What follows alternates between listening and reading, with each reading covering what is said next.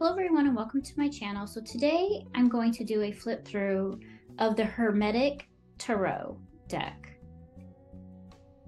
This deck is not a deck that I use. I'm going to be 100% honest.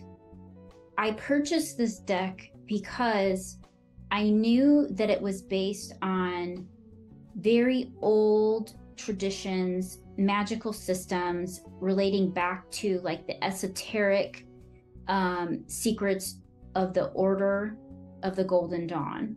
I also kn- know that this deck has ties back to Aleister Crowley, and it's just very like it's really tied to the occult and the symbols and like the like really ancient history of tarot.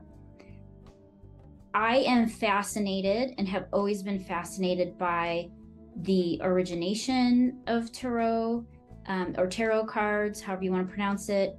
Um, I've taken lots of classes. I would call myself an enthusiast. I'm not an expert, like in any stretch of the imagination, but I wanted a deck that I could reference to really kind of that drew from all of these like ancient occult symbols that I could just reference from time to time if I wanted to.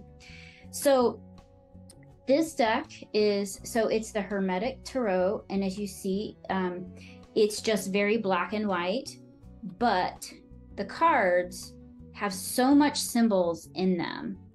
You can see there, um, you've got the Roman numeral two, and you've got some Hebrew script, and there's just like every card has so much going on in it from a sim- symbol symbolic perspective.